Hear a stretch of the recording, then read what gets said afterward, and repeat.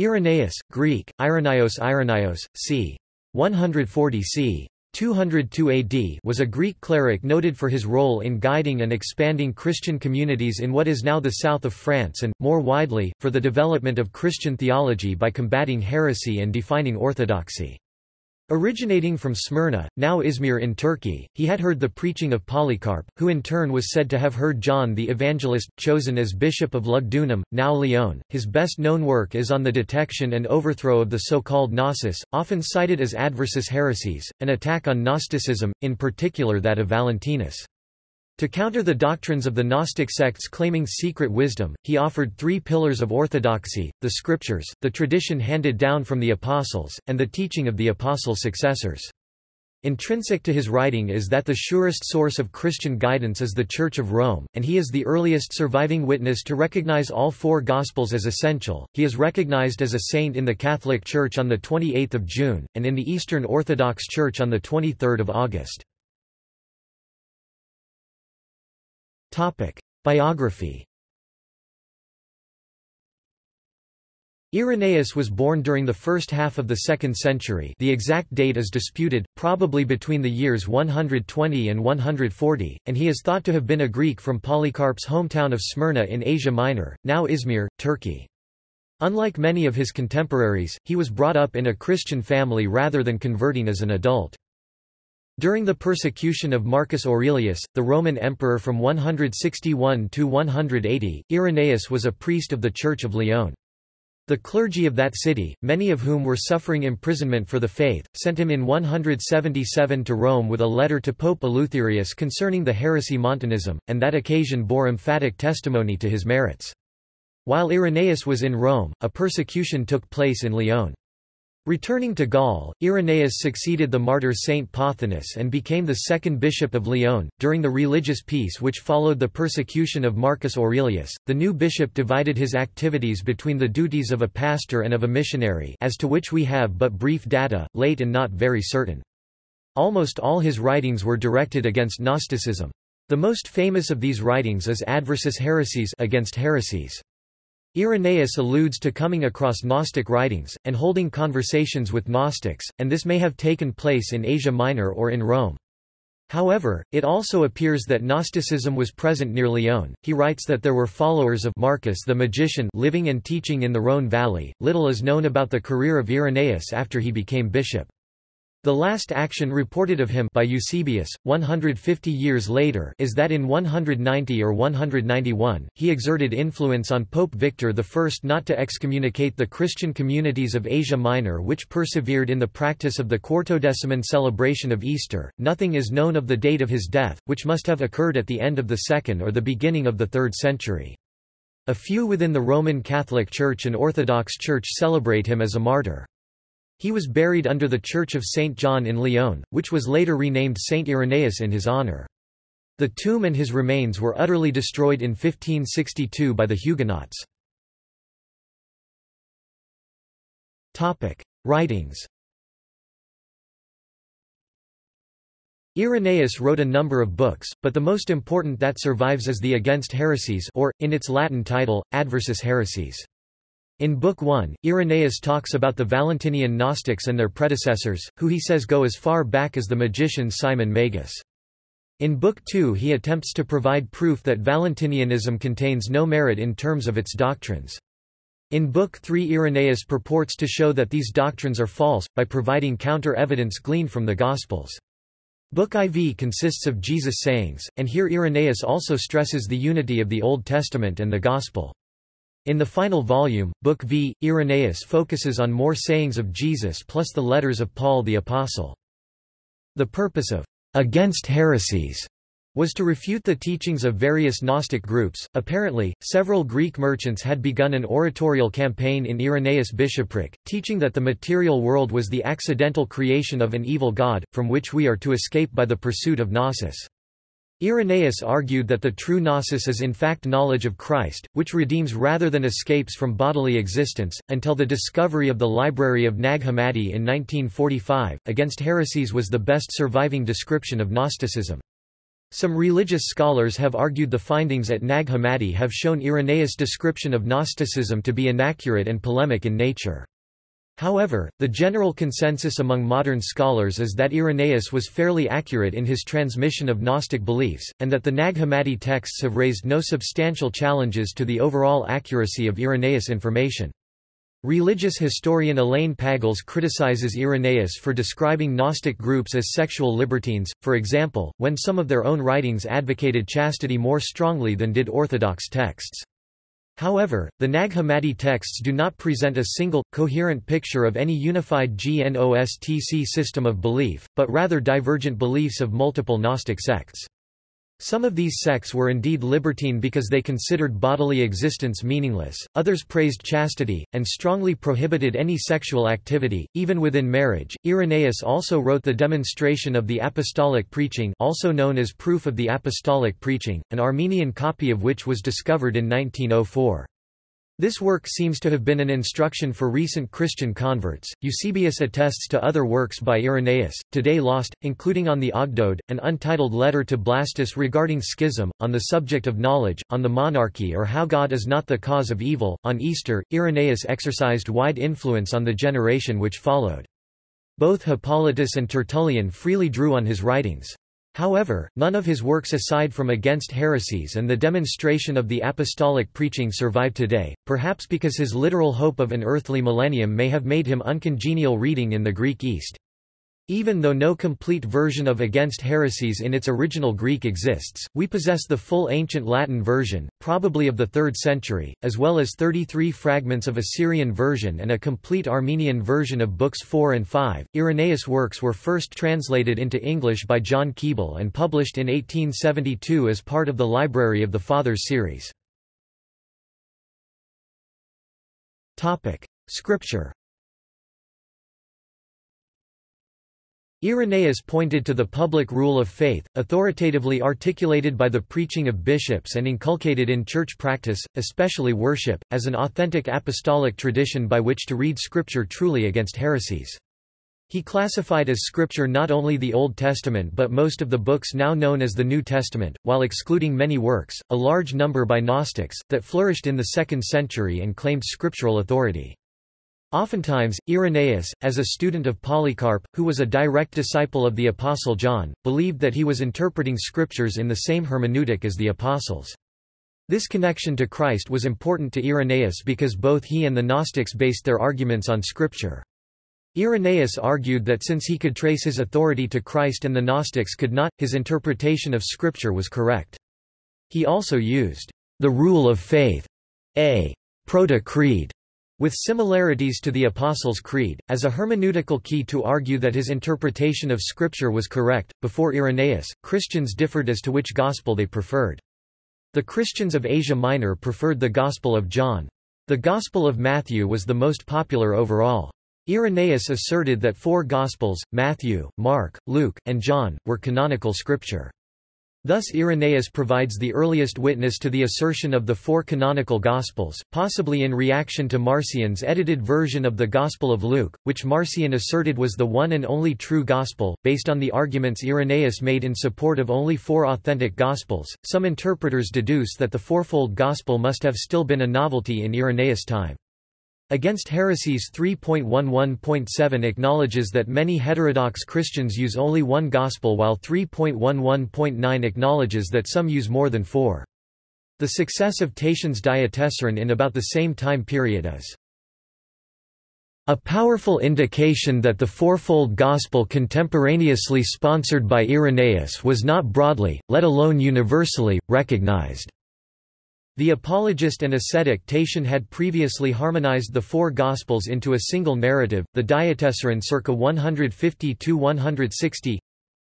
Irenaeus is also the earliest attestation that the Gospel of John was written by John the Apostle, and that the Gospel of Luke was written by Luke, the companion of Paul. Scholars contend that Irenaeus quotes from 21 of the 27 New Testament texts. Matthew, Book 3, Chapter 16. Mark, Book 3, Chapter 10. Luke Book 3, Chapter 14 John Book 3, Chapter 11 Acts of the Apostles Book 3, Chapter 14 Romans Book 3, Chapter 16 1 Corinthians Book 1, Chapter 3 2 Corinthians Book 3, Chapter 7 Galatians Book 3, Chapter 22 Ephesians Book 5, Chapter 2 Philippians Book 4, Chapter 18 Colossians Book 1, Chapter 3 1 Thessalonians Book 5, Chapter 6 2 Thessalonians Book 5, Chapter 25 1 Timothy Book 1, Preface. 2 Timothy Book 3, Chapter 14 Titus Book 3, Chapter 3 1 Peter Book 4, Chapter 9 1 John Book 3, Chapter 16 2 John Book 1, Chapter 16 Revelation to John Book 4, Chapter 20 he may refer to Hebrews Book 2, chapter 30 and James Book 4, chapter 16 and maybe even 2 Peter Book 5, chapter 28 but does not cite Philemon, 3 John or Jude. Irenaeus cited the New Testament approximately 1,000 times. About one-third of his citations are made to Paul's letters. Irenaeus considered all thirteen letters belonging to the Pauline corpus to have been written by Paul himself. Apostolic authority Irenaeus is also known as one of the first theologians to use the principle of apostolic succession to refute his opponents. In his writing against the Gnostics, who claimed to possess a secret oral tradition from Jesus himself, Irenaeus maintained that the bishops in different cities are known as far back as the apostles and that the bishops provided the only safe guide to the interpretation of Scripture. In a passage that became a locus classicus of Catholic-Protestant polemics, he cited the Roman Church as an example of the unbroken chain of authority which text Western polemics would use to assert the primacy of Rome over Eastern churches by virtue of its preeminent authority. With the lists of bishops to which Irenaeus referred, the doctrine of the apostolic succession, firmly established in the Church at this time, of the bishops could be linked. This succession was important to establish a chain of custody for orthodoxy. He felt it important, however, also to speak of a succession of elders presbyters. Irenaeus' point when refuting the Gnostics was that all of the apostolic churches had preserved the same traditions and teachings in many independent streams. It was the unanimous agreement between these many independent streams of transmission that proved the Orthodox faith, current in those churches, to be true. Irenaeus' theology and contrast with Gnosticism The central point of Irenaeus' theology is the unity and the goodness of God, in opposition to the Gnostics' theory of God, a number of divine emanations eons along with a distinction between the monad and the demiurge. Irenaeus uses the Logos theology he inherited from Justin Martyr. Irenaeus was a student of Polycarp, who was said to have been tutored by John the Apostle. John had used Logos terminology in the Gospel of John and the letter of 1 John. Irenaeus prefers to speak of the Son and the Spirit as the Hands of God The unity of salvation history Irenaeus' emphasis on the unity of God is reflected in his corresponding emphasis on the unity of salvation history. Irenaeus repeatedly insists that God began the world and has been overseeing it ever since this creative act, everything that has happened is part of his plan for humanity. The essence of this plan is a process of maturation. Irenaeus believes that humanity was created immature, and God intended his creatures to take a long time to grow into or assume the divine likeness. Everything that has happened since has therefore been planned by God to help humanity overcome this initial mishap and achieve spiritual maturity. The world has been intentionally designed by God as a difficult place, where human beings are forced to make moral decisions, as only in this way can they mature as moral agents. Irenaeus likens death to the big fish that swallowed Jonah, it was only in the depths of the whale's belly that Jonah could turn to God and act according to the divine will. Similarly, death and suffering appear as evils, but without them we could never come to know God. According to Irenaeus, the high point in salvation history is the advent of Jesus. For Irenaeus, the incarnation of Christ was intended by God before he determined that humanity would be created. Irenaeus develops this idea based on Rom. 5.14, saying, For inasmuch as he had a pre-existence as a saving being, it was necessary that what might be saved should also be called into existence, in order that the being who saves should not exist in vain." Some theologians maintain that Irenaeus believed that incarnation would have occurred even if humanity had never sinned, but the fact that they did sin determined his role as the Savior. Irenaeus sees Christ as the new Adam, who systematically undoes what Adam did, thus, where Adam was disobedient concerning God's edict concerning the fruit of the tree of knowledge of good and evil, Christ was obedient even to death on the wood of a tree. Irenaeus is the first to draw comparisons between Eve and Mary, contrasting the faithlessness of the former with the faithfulness of the latter. In addition to reversing the wrongs done by Adam, Irenaeus thinks of Christ as recapitulating or summing up human life. Irenaeus conceives of our salvation as essentially coming about through the incarnation of God as a man. He characterizes the penalty for sin as death and corruption. God, however, is immortal and incorruptible, and simply by becoming united to human nature in Christ he conveys those qualities to us, they spread, as it were, like a benign infection. Irenaeus emphasizes that salvation occurs through Christ's incarnation, which bestows incorruptibility on humanity, rather than emphasizing his redemptive death in the crucifixion, although the latter event is an integral part of the former. Christ's life Part of the process of recapitulation is for Christ to go through every stage of human life, from infancy to old age, and simply by living it, sanctify it with his divinity. Although it is sometimes claimed that Irenaeus believed Christ did not die until he was older than is conventionally portrayed, the Bishop of Lyon simply pointed out that because Jesus turned the permissible age for becoming a rabbi 30 years old and above, he recapitulated and sanctified the period between 30 and 50 years old, as per the Jewish custom of periodization on life, and so touches the beginning of old age when one becomes 50 years old. See Adversus Haereses, Book 2, Chapter 22.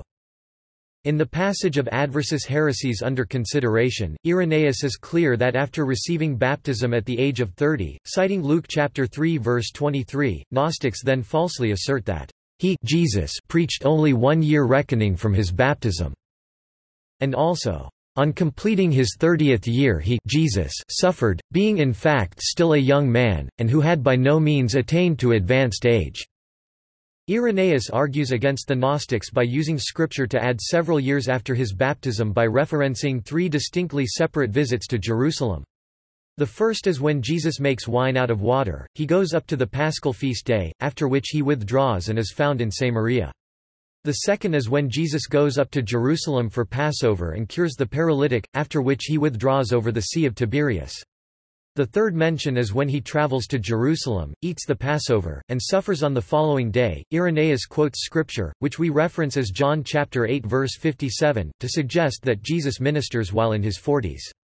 In this passage, Jesus' opponents want to argue that Jesus has not seen Abraham, because Jesus is too young. Jesus' opponents argue that Jesus is not yet 50 years old. Irenaeus argues that if Jesus was in his 30s, his opponents would have argued that he's not yet 40 years, since that would make him even younger. Irenaeus' argument is that they would not weaken their own argument by adding years to Jesus' age. Irenaeus also writes that, "...the elders witness to this, who in Asia conferred with John the Lord's disciple, to the effect that John had delivered these things unto them, for he abode with them until the times of Trajan." And some of them saw not only John, but others also of the apostles, and had this same account from them, and witnessed to the aforesaid relation." In Demonstration 74 Irenaeus notes, "...for Pontius Pilate was governor of Judea, and he had at that time resentful enmity against Herod the king of the Jews."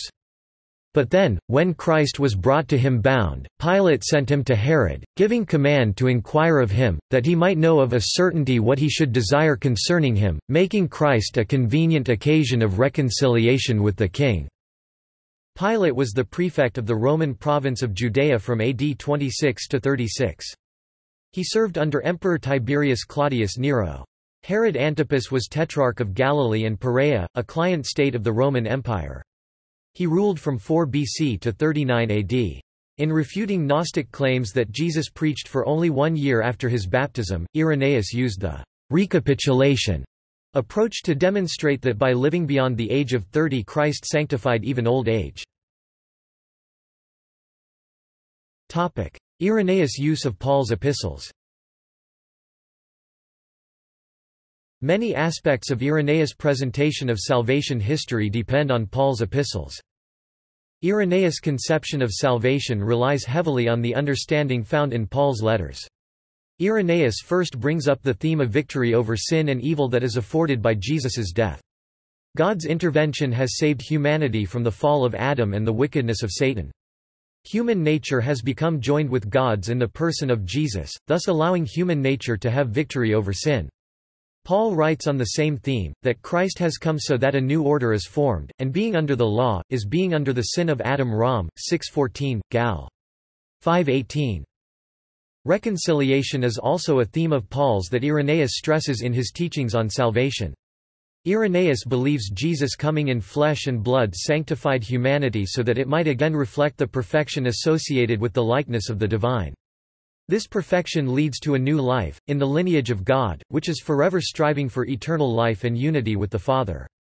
This is a carryover from Paul, who attributes this reconciliation to the actions of Christ, for since death came through a human being, the resurrection of the dead has also come through a human being, for as all die in Adam, so all will be made alive in Christ 1 Cor. 1521-2.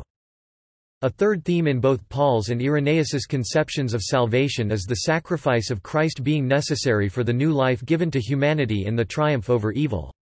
It is in this obedient sacrifice that Jesus is victor and reconciler, thus erasing the marks that Adam left on human nature. To argue against the Gnostics on this point, Irenaeus uses Colossians call 2.13-4 in showing that the debt which came by a tree has been paid for us in another tree.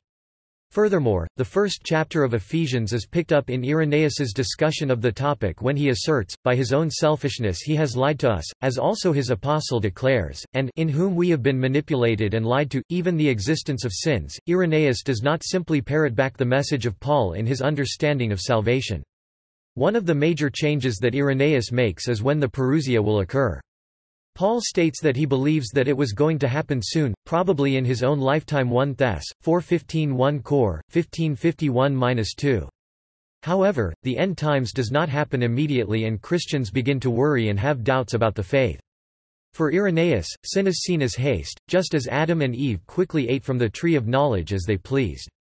On the other hand, redemption restored to humanity through the Christ's submission to God's will. Thus, the salvation of man will also be restored to the original trajectory controlled by God forfeited in humanity's sinful in haste. This rather slower version of salvation is not something that Irenaeus received from Paul, but was a necessary construct given the delay of the second coming of Jesus. Christ as the new Adam To counter his Gnostic opponents, Irenaeus significantly develops Paul's presentation of Christ as the last Adam. Irenaeus' presentation of Christ as the new Adam is based on Paul's Christ-Adam parallel in Romans chapter 5 verses 12 to 21. Irenaeus uses this parallel to demonstrate that Christ truly took human flesh. Irenaeus considers it important to emphasize this point because he understands the failure to recognize Christ's full humanity the bond linking the various strains of Gnosticism together, as seen in his statement that, "...according to the opinion of no one of the heretics was the Word of God made flesh." Irenaeus believes that unless the Word became flesh, humans were not fully redeemed. He explains that by becoming man, Christ restored humanity to being in the image and likeness of God, which they had lost in the fall of man just as Adam was the original head of humanity through whom all sinned. Christ is the new head of humanity who fulfills Adam's role in the economy of salvation. Irenaeus calls this process of restoring humanity recapitulation. For Irenaeus, Paul's presentation of the Old Law, the Mosaic covenant, in this passage indicates that the Old Law revealed humanity's sinfulness but could not save them. He explains that, "...for as the law was spiritual, it merely made sin to stand out in relief, but did not destroy it. For sin had no dominion over the spirit, but over man." Since humans have a physical nature, they cannot be saved by a spiritual law. Instead, they need a human savior. This is why it was necessary for Christ to take human flesh. Irenaeus summarizes how Christ's taking human flesh saves humanity with a statement that closely resembles Romans chapter 5 verse 19. For as by the disobedience of the one man who was originally molded from virgin soil, the many were made sinners, and forfeited life, so was it necessary that, by the obedience of one man, who was originally born from a virgin, many should be justified and receive salvation. The physical creation of Adam and Christ is emphasized by Irenaeus to demonstrate how the Incarnation saves humanity's physical nature. Irenaeus emphasizes the importance of Christ's reversal of Adam's action. Through his obedience, Christ undoes Adam's disobedience.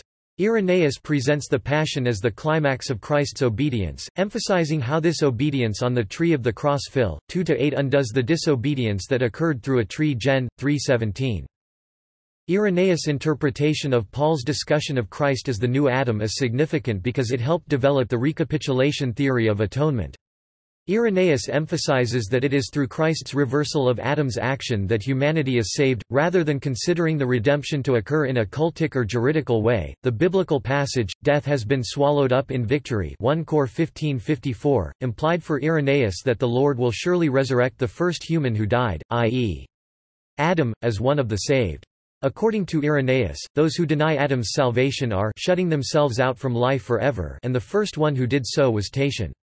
The notion that the second Adam saved the first Adam was advocated not only by Irenaeus, but also by Gregory Thaumaturgus, which suggests that it was popular in the early Church.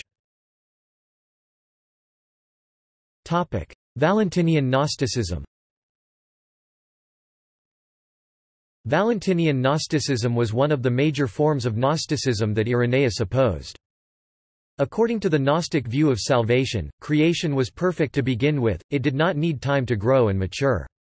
For the Valentinians, the material world is the result of the loss of perfection which resulted from Sophia's desire to understand the forefather. Therefore, one is ultimately redeemed, through secret knowledge, to enter the pleroma of which the Achamoth originally fell. According to the Valentinian Gnostics, there are three classes of human beings. They are the material, who cannot attain salvation, the psychic, who are strengthened by works and faith they are part of the Church, and the spiritual, who cannot decay or be harmed by material actions. Essentially, ordinary humans—those who have faith but do not possess the special knowledge—will not attain salvation. Spirituals, on the other hand—those who obtain this great gift—are the only class that will eventually attain salvation. In his article entitled, The Demiurge, J. P. Arendzen sums up the Valentinian view of the salvation of man. He writes, the first, or carnal men, will return to the grossness of matter and finally be consumed by fire, the second, or psychic men, together with the demiurge as their master, will enter a middle state, neither heaven pleroma nor hell while, the purely spiritual men will be completely freed from the influence of the demiurge and together with the Savior and Achamoth, his spouse, will enter the pleroma divested of body and soul in this understanding of salvation, the purpose of the Incarnation was to redeem the spirituals from their material bodies. By taking a material body, the Son becomes the Savior and facilitates this entrance into the pleroma by making it possible for the spirituals to receive his spiritual body. However, in becoming a body and soul, the Son himself becomes one of those needing redemption. Therefore, the Word descends onto the Savior at his baptism in the Jordan, which liberates the Son from his corruptible body and soul. His redemption from the body and soul is then applied to the spirituals. In response to this Gnostic view of Christ, Irenaeus emphasized that the Word became flesh and developed a soteriology that emphasized the significance of Christ's material body in saving humanity. As discussed in the sections above, in his criticism of Gnosticism, Irenaeus made reference to a Gnostic gospel which portrayed Judas in a positive light, as having acted in accordance with Jesus' instructions. The recently discovered Gospel of Judas dates close to the period when Irenaeus lived late 2nd century, and scholars typically regard this work as one of many Gnostic texts, showing one of many varieties of Gnostic beliefs of the period. Irenaeus Mariology Irenaeus of Lyon is perhaps the earliest of the Church Fathers to develop a thorough Mariology. It is certain that, while still very young, Irenaeus had seen and heard Bishop Polycarp d. 155 at Smyrna. Irenaeus sets out a forthright account of Mary's role in the economy of salvation, presenting Mary as new Eve whose obedience in the Annunciation counters Eve's disobedience. He states, even though Eve had Adam for a husband, she was still a virgin. By disobeying, Eve became the cause of death for herself and for the whole human race. In the same way Mary, though she had a husband, was still a virgin, and by obeying, she became the cause of salvation for herself and for the whole human race. This presentation of Mary as the new Eve is an extension of Irenaeus Adam-Christ typology. Just as Christ undoes Adam's disobedience, Mary undoes Eve's disobedience. His emphasis on the role of Mary helps Irenaeus counter Christologies along the lines of Docetism and adoptionism. His emphasis on Mary's role in the economy of salvation further demonstrates how God transforms the material world through the Incarnation, which was an important part of Irenaeus' conflict with the Gnostics. Like Irenaeus, Tertullian describes how Christ's virgin birth parallels Adam's creation from virgin earth. Tertullian also discusses how it was necessary for God to be born of a virgin so that what was lost through a woman would be saved through a woman. This indicates that the concept of Mary as the new Eve was known in both the Eastern and Western Church during the 2nd and 3rd centuries. Pope Pius IX made reference to this theme of Irenaeus, in the 1854 Apostolic Constitution Ineffabilis Deus, which defined the dogma of the Immaculate Conception. Prophetic exegesis The first four books of Against Heresies constitute a minute analysis and refutation of the Gnostic doctrines. The fifth is a statement of positive belief contrasting the constantly shifting and contradictory Gnostic opinions with the steadfast faith of the Church. He appeals to the biblical prophecies to demonstrate the truthfulness of Christianity. Rome and the Ten Horns Irenaeus showed a close relationship between the predicted events of Daniel 2 and 7. Rome, the fourth prophetic kingdom, would end in a tenfold partition. The ten divisions of the empire are the ten horns of Daniel 7 and the ten horns in Revelation chapter 17. A little horn, which was to supplant three of Rome's ten divisions, was also the still future eighth in Revelation. Irenaeus concluded with the destruction of all kingdoms at the Second Advent, when Christ, the prophesied stone, cut out of the mountain without hands, smote the image after Rome's division. Antichrist Irenaeus identified the Antichrist, another name of the apostate man of sin, with Daniel's little horn and John's beast of Revelation chapter 13. He sought to apply other expressions to the Antichrist, such as the abomination of desolation, mentioned by Christ Matt 24:15, and the king of a most fierce countenance, in Gabriel's explanation of the little horn of Daniel 8. But he is not very clear how the sacrifice and the libation shall be taken away during the half week or three and one half years of the Antichrist's reign, under the notion that the Antichrist, as a single individual, might be of Jewish origin, he fancies that the mention of Dan in Jeremiah chapter 8 verse 16, and the omission of that name from those tribes listed in Revelation chapter 7, might indicate the Antichrist's tribe. This surmise became the foundation of a series of subsequent interpretations by other students of Bible prophecy. Time, times, and half a time Like the other early Church Fathers, Irenaeus interpreted the three and one-half times of the little horn of Daniel 7 as three and one-half literal years. Antichrist's three and a half years of sitting in the temple are placed immediately before the second coming of Christ. They are identified as the second half of the one week of Daniel 9. Irenaeus says nothing of the seventy weeks, we do not know whether he placed the one week at the end of the seventy or whether he had a gap. 666 Irenaeus is the first of the Church Fathers to consider the mystic number 666. While Irenaeus did propose some solutions of this numerical riddle, his interpretation was quite reserved. Thus, he cautiously states, but knowing the sure number declared by Scripture, that is 660 and 6, let them await, in the first place, the division of the kingdom into ten, then, in the next place, when these kings are reigning, and beginning to set their affairs in order, and advance their kingdom, let them learn, to acknowledge that he who shall come claiming the kingdom for himself, and shall terrify those men of whom we have been speaking, have a name containing the aforesaid number, is truly the abomination of desolation. Although Irenaeus did speculate upon three names to symbolize this mystical number, namely Euanthus, Titan, and Latinos, nevertheless he was content to believe that the Antichrist would arise some time in the future after the fall of Rome and then the meaning of the number would be revealed. Millennium Irenaeus declares that the Antichrist's future three-and-a-half-year reign, when he sits in the Temple at Jerusalem, will be terminated by the Second Advent, with the resurrection of the just, the destruction of the wicked, and the millennial reign of the righteous. The general resurrection and the judgment follow the descent of the New Jerusalem at the end of the millennial kingdom. Irenaeus calls those heretics who maintain that the saved are immediately glorified in the kingdom to come after death, before their resurrection. He avers that the millennial kingdom and the resurrection are actualities, not allegories, the first resurrection introducing this promised kingdom in which the risen saints are described as ruling over the renewed earth during the millennium. Between the two resurrections, Irenaeus held to the old Jewish tradition that the first six days of creation week were typical of the first 6,000 years of human history, with Antichrist manifesting himself in the sixth period.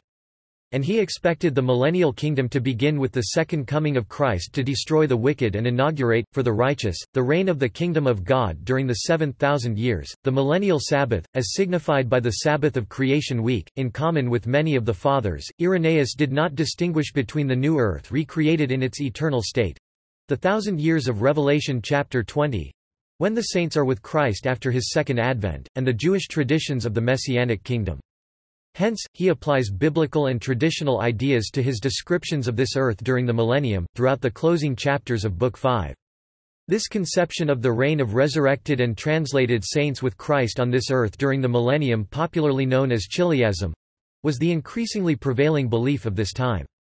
Incipient distortions due to the admixture of current traditions, which figure in the extreme forms of Chiliasm, caused a reaction against the earlier interpretations of Bible prophecies. Irenaeus was not looking for a Jewish kingdom.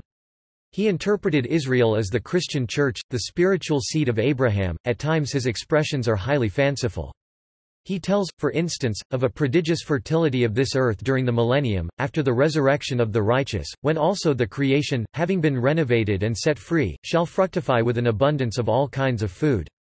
Quote, in this connection, he attributes to Christ the saying about the vine with 10,000 branches, and the ear of wheat with 10,000 grains, and so forth, which he quotes from Papias of Hierapolis. Exegesis Irenaeus' exegesis does not give complete coverage.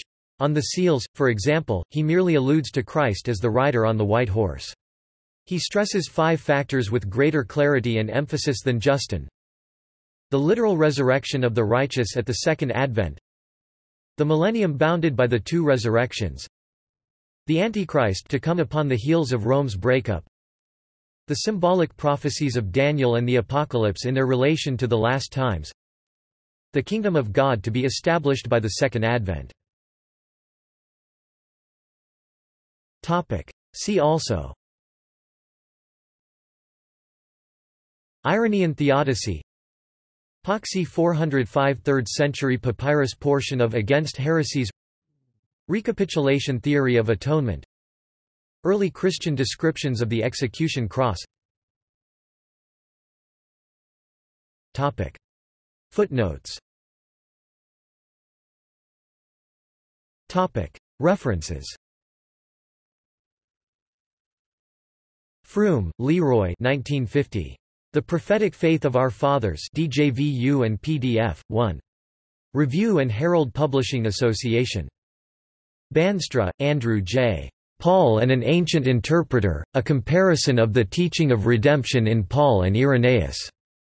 Calvin Theological Journal 5 197, 43–63. Blackwell, Ben C. Christosis, Pauline Soteriology in Light of Deification in Irenaeus and Cyril of Alexandria. Wissenschaftliche Untersuchungen zum Neuen Testament 2. Reich 341, edited by Georg Frey. Tübingen, Germany, Mohr Siebeck, 2011. Irenaeus, Against Heresies. Translated by Alexander Roberts and William Rambaut. In Ante-Nicene Fathers, Volume 1, ed. Alexander Roberts, James Donaldson, and A. Cleveland Coxe Buffalo, N.Y., Christian Literature Co., 1885. Litwa, M. David. The Wondrous Exchange, Irenaeus and Eastern Valentinians on the Soteriology of Interchange. Journal of Early Christian Studies 22 2014, 311–40. Nielsen, J. T. Adam and Christ in the Theology of Irenaeus of Lyons, an examination of the function of the Adam-Christ typology in the adversus Haereses of Irenaeus, against the background of the Gnosticism of his time. Van Gorkum's Theologische Bibliotheek. Assen, the Netherlands, Koninklijke van Gorkum 7 Comp. N.V., 1968. Steenberg, Irenaeus M.C. The role of Mary as co-recapitulator in Saint Irenaeus of Lyons. Vigiliae Christianae 58 2004, 117–137. Further reading Irenaeus, Proof of the Apostolic Preaching, trans. J. P. Smith, ACW 16, 1952 Irenaeus, Proof of the Apostolic Preaching, trans. John Behr, PPS, 1997 Irenaeus, Against Heresies, trans. Alexander Roberts and William Rambaut, in Ante-Nicene Fathers, Volume 1, ed. Alexander Roberts, James Donaldson, and A. Cleveland Coxe Buffalo, N.Y., Christian Literature Co., 1885. Paperback Coxe, Arthur Cleveland, ed., 1885. The Ante-Nicene Fathers. Buffalo, New York, The Christian Literature Company. Edwards, Mark 2009. Catholicity and Heresy in the Early Church. Ashgate. Eusebius 1932. The Ecclesiastical History. Kirsopp Lake and John E. L. Oulton, trans. New York, Putnam. Haglund, Bengt 1968. History of Theology. Gene J. Lund, trans. St. Louis, Concordia Publishing. Minns, Dennis 1994. Irenaeus. Washington, D.C., Georgetown University Press. ISBN 0-87840-553-4. Parvis, Sarah and Paul Foster, ed. Irenaeus, Life, Scripture, Legacy. Minneapolis, Fortress Press, 2012. Payton, Jr., James R. Irenaeus on the Christian Faith, A Condensation of Against Heresies Cambridge, James Clarke & Co. Limited, 2012. Quasten, J. 1960. Patrology, The Beginnings of Patristic Literature. Westminster, M.D., Newman Press. Schaff, Philip 1980. History of the Christian Church, Ante-Nicene Christianity, AD 100–325. Grand Rapids, Mich, W.M. Eerdmans. ISBN 0-8028-8047-9. Tyson, Joseph B. 1973. A Study of Early Christianity. New York, Macmillan. Wolfson, Henry Austryn 1970. The Philosophy of the Church Fathers, Faith, Trinity, Incarnation. Cambridge, Massachusetts, Harvard University Press. External links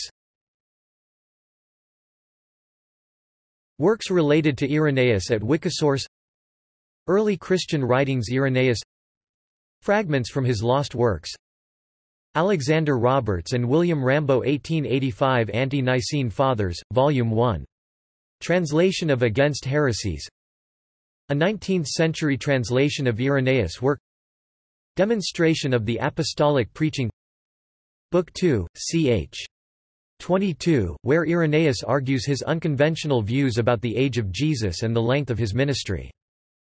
earlychurch.org.uk Extensive bibliography Works by or about Irenaeus at Internet Archive Works by Irenaeus at LibriVox public domain audiobooks Gregory S. Neal, The Nature of Evil and the Irenaean Theodicy.